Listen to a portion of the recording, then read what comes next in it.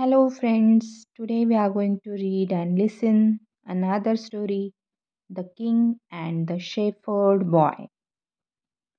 Long, long ago, there was a king who was very fond of painting portraits.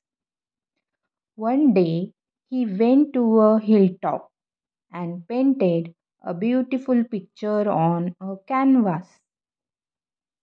When the picture was ready, he stood before the picture. He moved to and fro and gave it a finish, finishing touch. He moved to and fro and gave it a finishing touch with his brush. Then he stepped backwards, looking at the picture before him to see how it looked from a distance. He reached almost the edge of the hill. A shepherd boy who was grazing his sheep on the hill saw the king. He thought that if the king moved back even a bit, he would fall down into the valley below and die.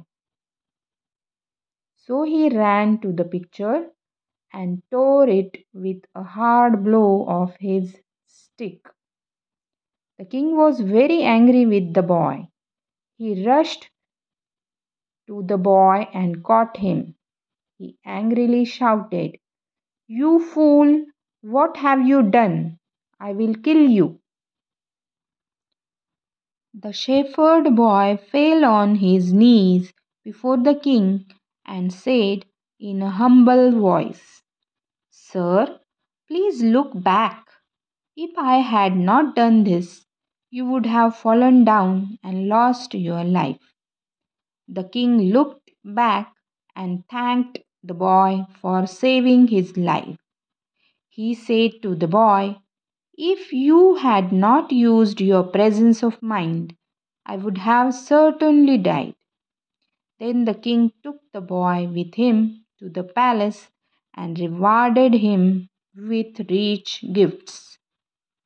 Later, the boy was brought to the palace and brought up there under the personal care of the king. After a few years, he was made the king's chief minister. Thank you.